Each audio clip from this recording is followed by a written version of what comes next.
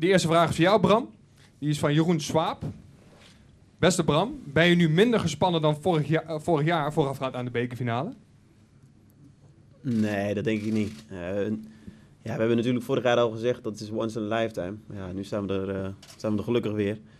Je zult, dit zijn, nou, laten we het zo zeggen, het is de mooiste wedstrijd om te, kunnen spelen in Nederland. En dat, ik denk dat je, dat alleen maar goed is dat je een bepaald soort spanning hebt voor zo'n wedstrijd. Merk je dat ook in het team, dat de spanning opkomt? Nou, je, het was gewoon na afgelopen zondag. Het is gewoon heel fijn om dan alleen maar over de beker te, bekerfinale te kunnen hebben. En dat is, ja, ja, iedereen heeft het erover. Je bent al weken bij, bezig met hoeveel kaarten iedereen wel niet heeft verkocht. En uh, nou, wat er eventueel staat te gebeuren als je hem wint. Dus ja, dat kun je heel goed merken. En nou, deze week gaat het nergens anders over. En dan merk je wel dat, uh, dat de spanning in de goede zin van het woord toeneemt in de groep. Ja, hartstikke mooi. Ron Jans, voor jou een vraag van Jelte Kloens. Beste Ron Jans, bent u trots op uw vader dat hij de beker mag uitreiken? Nou, het moet eerst gebeuren, maar ik ben hartstikke trots. En uh, ik ken er nog eentje die is nog trotser en dat is uh, hij zelf. Want uh, um, hij is drie weken geleden benaderd door, door PC Zwolle om, om de beker even uit te reiken. En hij vond dat echt fantastisch. Het enige wat hij zei van, ik hoop wel dat, want hij is 87, ik hoop wel dat ik het haal. Maar zolang hij dat elke dag zegt, dan haalt hij het, uh, dan haalt hij het zeker. Maar hij is zo, zo trots als een pauw. En hij mocht het pas gisteren mocht hij het vertellen, want hij woont in een verzorgingstehuis. En dan gaan ze soms, uh, s ochtends koffie drinken en dan heeft hij een nieuwtje. En dat, dat mocht hij niet vertellen. En dat vond hij wel heel moeilijk, moet ik zeggen. Maar het, het is nu naar buiten. En, ik ben trots en hij ook. Nou, hartstikke mooi. Een andere vraag die veel, we hadden het er al even over, een andere vraag die veel twitteraars en facebookers hebben ingestuurd, ging over een dansje van vorig jaar. Kun je daar iets meer over vertellen? Ja, nee, ik, ik, uh, soms dan, uh, dan sta je op zo'n podium en dan doe je iets. Uh, en dan denk je achteraf van, ja, wat deed je nou eigenlijk? En nou ja, dat was een klein dansje. Maar ik, ik kom heel vaak bij, bij amateurwedstrijden om mijn zoons te bekijken. En dan komen er allemaal jochies naar toe van... trainer, doe eens het Ron Jansje dansje. En dan denk ik van, wat een brutale snotapen. Maar ik had dus niet door dat op YouTube en dat dat een hit was en weet ik veel maar wat. En dan doe ik al uh, nou, jarenlang mijn best om herinnerd te worden als een voetbaltrainer. En, en dan word je later word je herinnerd als een dansleraar.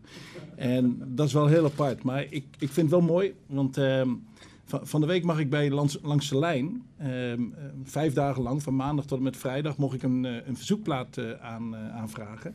En op, uh, op maandag, een beetje zelfspot, uh, is me dan uh, niet vreemd, heb ik van Frank Zappa, wat ik trouwens een geweldig artiest vind, heb ik Dancing Fool heb ik, aangevraagd. En, dus ik kan er wel om lachen, maar ik ga hem niet doen op verzoek. En ook niet als we de beker weer winnen, want maar wat ik wel doe, dat weet ik ook niet. Okay. Dankjewel. Michael, um, voor jou een vraag van Peter Noorden. Wat vind je ervan dat heel Groningen zo meeleeft met de bekerfinale? En wat doet dat met jou en, en met het team? Ja, dat is natuurlijk uh, ontzettend gaaf. Het leeft al een, uh, een, tijdje eigenlijk zo rond de halve finale dat mensen echt, echt gingen meeleven. En daags na het winnen van die halve finale werd mij, werd mij en ook teamgenoot al succes gewenst. Waar je ook loopt in de stad. Het, leeft echt enorm. En dat, ja, dat, en dat maakt me vooral ook heel trots. Trots dat wij, dat, wij in die positie staan om dat voor die mensen ja, misschien die beker binnen te halen. En dat, uh, dat is wel mooi. Ja, zeker. Dat is hartstikke mooi natuurlijk. Een hele groene, uh, groene zijde uh, aankomende zondag. Ja. Um, Erwin, voor jou de laatste vraag voordat ik de, de, microfoon doorgeef van Jesse van Ommen. gaan jullie de bekerfinale spelen met countervoetbal of met dominant voetbal? Dat vind je een... nou Ron, zeg maar, wat wil je? Nou we hebben wel bewezen eh, dit seizoen al dat we eigenlijk allebei wel eh, kunnen. En soms ook allebei uh, moeten. We hebben tegen heel veel teams gespeeld die, uh, die tegen ons hebben gespeeld en wat verder terug zijn gegaan. Waardoor wij uh, de bal kregen en het maar moesten oplossen. Dat gaat ons steeds beter af. En we hebben ook wedstrijden gehad waar we het wat moeilijker hadden, wat verder naar achter moesten. Willem II, laatste, laatste keer nog, twee weken geleden. En toen hebben we iets meer op de counter gespeeld en hebben we ook een prachtig resultaat gehaald met 4-1. Dus uiteindelijk zal het maar eigenlijk om het even zijn met welke uh, voetbal we te doen. Uh, het gaat in zo'n wedstrijd, een eenmalige wedstrijd, gaat het echt om het resultaat. En natuurlijk uh, hoop ik wel dat we fantastisch spelen, dat het een prachtige wedstrijd wordt voor al het publiek en dat het een ware happening wordt. Maar in zo'n wedstrijd is vaak de uitslag, of de, de uitslag niet, maar het spel wel snel vergeten. En, en gaat het vooral om die beker. En die willen we heel graag winnen. Heel begrijpelijk. Dan wil ik nu het woord geven aan een van de journalisten. Wacht even tot de microfoon ehm, bij je is, zodat de rest van de zaal en de, de mensen ook thuis uh, de vragen in ieder geval kunnen verstaan. Johan, mag ik jou eerst vragen?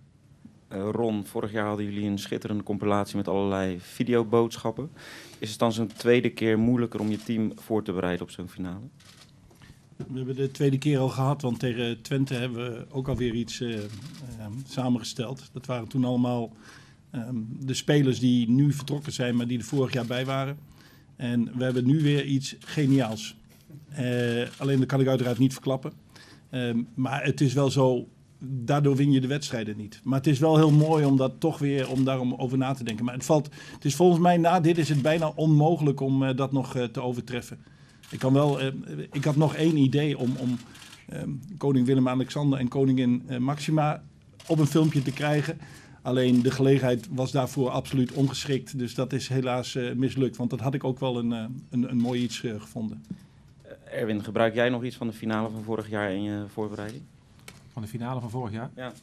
Van, van Zwolle bedoel je? Ja, of van Ajax? Nee. Nee, wij, we hebben in de halve finale ook wel wat gedaan met Arjen Robben. die onze ploeg heeft toegesproken. Omdat hij natuurlijk ook wel weet hoe het werkt in de top en in finales. En, en met spanning en met druk. En wie weet hebben wij ook wel weer wat verzonnen deze keer. Zo gaat dat en het is wel leuk om, om je daar ook mee bezig te houden. Maar ik ben het wel met Ron eens. Dat zijn wel dingen die, uh, die erbij komen, die wel wat extra's kunnen geven, maar die niet doorslaggevend zullen zijn zondag. Dank je.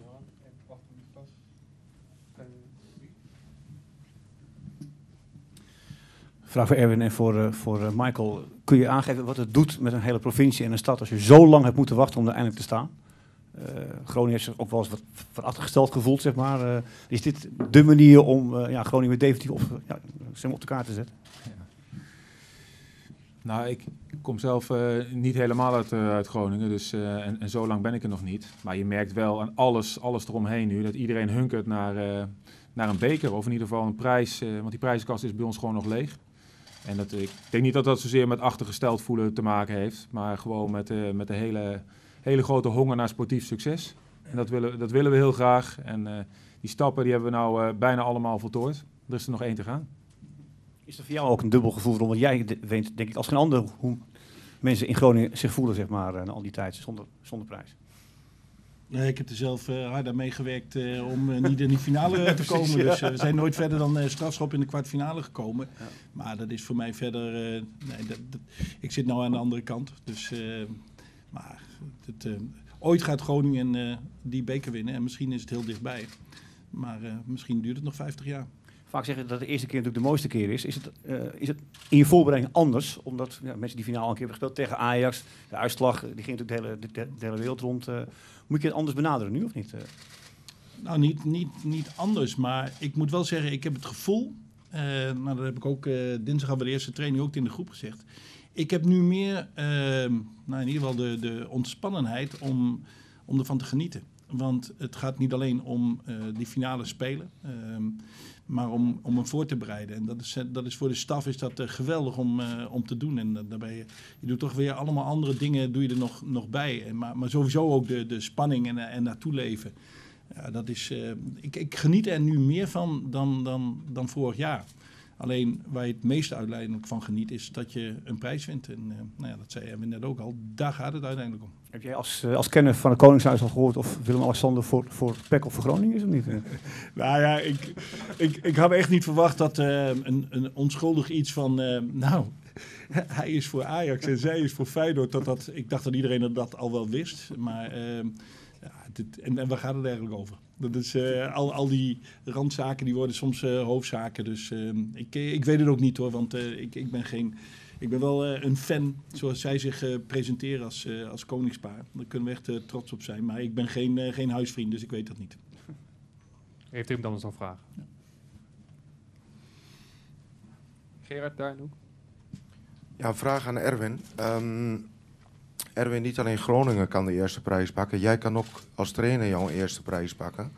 Wat, wat doet dat met je? Wat voor, uh, wat voor gevoel levert jou dat op? Nou, wel een, uh, een trots gevoel. Tweede jaar als hoofdtrainer. En uh, dat we nu in de, in de finale van de, van de beker staan. Dat, dat geeft mij wel een goed gevoel. en ik hoop hem wel, wel te winnen. Vorig jaar hebben we de play-offs gespeeld, hebben we de play-offs ook gewonnen. Dus dat was natuurlijk al heel mooi. Ja, en nu echt iets, met iets tastbaars naar, huis, naar huis gaan, dat lijkt me helemaal fantastisch. Dus het geeft mij wel een gevoel van trots. Maar vooral ook trots niet alleen uh, op mezelf, maar vooral met iedereen waar we mee bezig zijn. Met, met, met spelers, met staf, met de hele club die er uh, keihard, keihard naar gewerkt heeft. Supporters die er uh, ongelooflijk naar uitkijken. Dus ik ben het wel met Ron, Ron eens. Je, je merkt wel dat het echt iets heel speciaals en unieks is in de hele provincie. En dat is wel mooi om mee te maken. Hoe, merk, hoe merk jij dat? Kun je eens een voorbeeld geven? Nou ja, er, is zoveel, uh, er worden zoveel opmerkingen over gemaakt, zoveel aanvragen voor interviews, voor allerlei uh, zaken. Het is veel drukker op de training dan normaal. Allemaal kleine dingetjes en grote dingetjes die, uh, die erop afkomen. En dat is wel leuk om, om mee te maken, absoluut. Nog een andere vraagje aan jou. Um, jullie speelden tegen Vitesse um, in de beker in januari was het geloof ik, eind januari. Ja. Um, ik had de indruk dat Groningen toen in een moeilijke fase zat en dat die wedstrijd min of meer een soort omslagpunt uh, is geweest. Klopt dat? En zou je eens aan kunnen geven wat de ontwikkeling van het elftal sindsdien is geweest? Nou, het klopt, het klopt wel een beetje. Uh, we hebben dit seizoen wel uh, met ups en downs gespeeld. En het heeft ook wel heel veel te maken met de veranderingen die er in het team zijn geweest. In de voorbereiding zijn we natuurlijk wat jongens kwijtgeraakt met Kostic, met Sivkovic. En dan ga je een half jaar en dan ben je aan het bouwen. En dan ontwikkelt het team zich weer een beetje. In de winterstop krijg je dan uh, Tibbeling en uh, Roesnak erbij. Ja, dat geeft weer een hele andere dynamiek in je team. Uh, ander, soort spelers. En dat, moet elkaar toch weer een beetje aan, aanvullen. we hebben met Sherry, we hebben eigenlijk met De Leeuw en we hebben met Roesnak eigenlijk drie jongens die het liefst op nummer 10 spelen. Ja, dat moet je wel zodanig met elkaar proberen aan de slag te krijgen dat er, dat er een mooi team uitrolt. Uiteindelijk is dat de laatste weken gaat het steeds beter. En vind ik ook dat het, uh, de puzzel beter in elkaar valt. En de wedstrijd tegen Vitesse was wel een beetje een wedstrijd op zich. We hebben een uur lang uh, heel moeilijk gehad in de kwartfinale. Echt, echt moeten overleven. Vitesse was in die wedstrijd het eerste uur de baas. Maar op wilskracht uh, hebben we die wel eruit gesleept. En misschien ook een beetje geluk. Een rode kaart en een penalty waardoor die wedstrijd omsloeg. Maar vooral ook de wil om, om, die, om die volgende ronde te halen. En dat zit er eigenlijk vanaf het begin van het seizoen al, al, al in in de groep vorig jaar na het behalen van, de, van Europees voetbal via de play-offs en het zien van uh, Zwolle in de finale, dan uh, ja, begint zoiets toch een klein beetje te leven. En dat hebben, van het begin af aan hebben we de beker heel erg serieus genomen wat dat betreft. Dankjewel. Andere vragen hier, Jacob. Uh, Bram, je bent bijna ervaringsdeskundige in het spelen van zulke wedstrijden, pakken van prijzen, prima te worden. Um, heb, je, heb je het idee dat je nu anders toeleeft naar zo'n wedstrijd dan dat je vorig jaar bijvoorbeeld deed? Um, nee, dat, dat gevoel heb ik niet. Uh, het was wel voorafgaand vorig jaar aan de finale met Ajax. Had iedereen zoiets van... Uh, nou ja, als, als er in ieder geval maar een wedstrijdje van maken... dat zou wel leuk zijn voor de finale op zich. Ah, dat is dit jaar natuurlijk een heel ander verhaal. Dit jaar zijn twee ploegen die nou, niet ja, op het moment volledig inzetten op die beker. En ik denk dat het een 50-50 wedstrijd is... waarin momenten de, de doorslag gaan geven. Dus ja, Nee, ik denk niet dat, uh, dat het anders is.